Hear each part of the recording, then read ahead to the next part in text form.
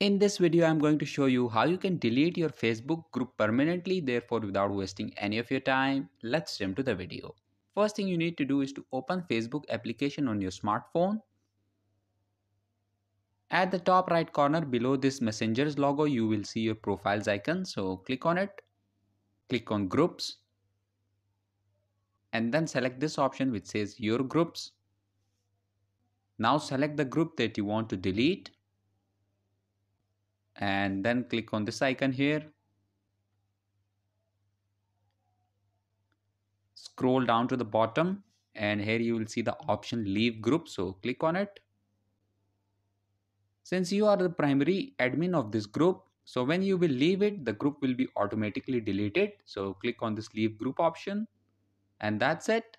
In this way you can delete your Facebook group permanently. So that was it for this video and I'll see you guys in the next one.